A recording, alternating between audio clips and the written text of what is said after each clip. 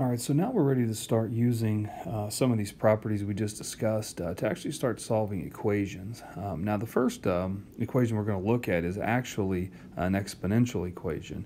Uh, so if you remember, the easiest way to solve an exponential equation is to get the bases to be the same um, and then work with the exponents. Now, um, that can't always be done, and this is an example of just that. So uh, in its exponential form, there's really not a way to get uh, the bases to be the same. So this is where the benefit of uh, using logarithms will come into play. So you have some options here on how you want to move forward. Um, one of the things that I might do is I might just go ahead and rewrite it with the 5 uh, on the other side and move that 2x over to the right.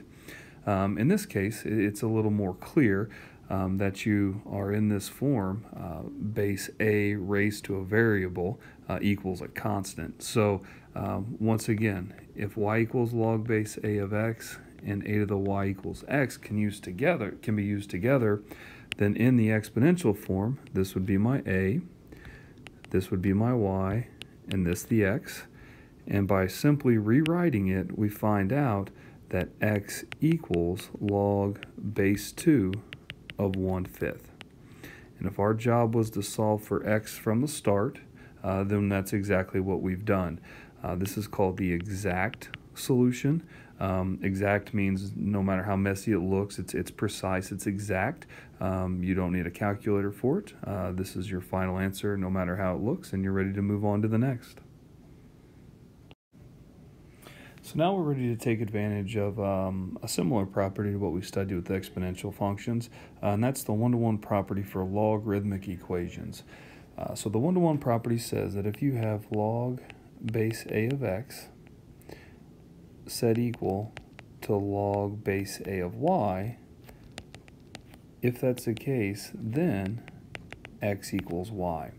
Um, and as, as important as it was to understand the details of it uh, with exponential functions, uh, it's equally as important to recognize it here.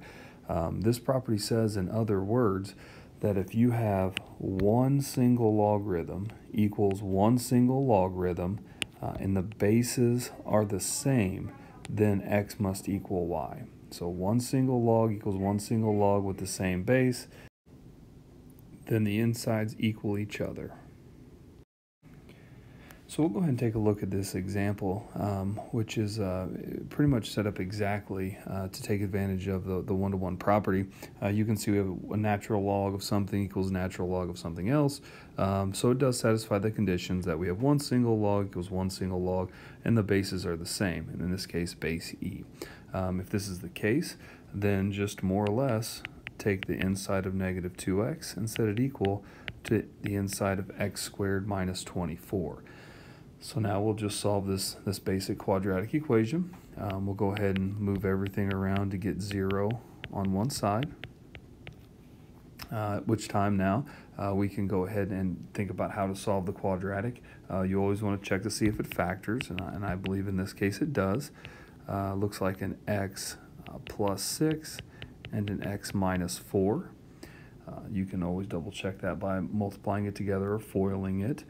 Uh, we'll now take x plus 6 equals 0, x minus 4 equals 0. Therefore, x equals negative 6, and x equals 4. Now, um, we know that those are good solutions for the quadratic equation, but that wasn't necessarily the, the equation that we were told to solve. Uh, we were told to solve this one. And if you think back uh, at some of the things we, we talked about and we looked at in graphing logs, um, the domain of a log is zero, uh, excuse me, is bigger than zero, which means that it has to be positive.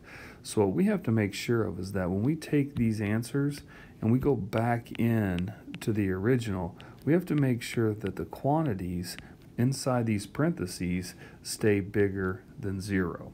So for example, if I take a negative 6 and I plug it in here, you would get a positive number, which is good.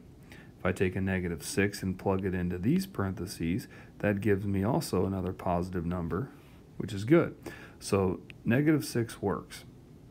Now we'll go ahead and we'll take the negative 4, I'm sorry, excuse me, the positive 4.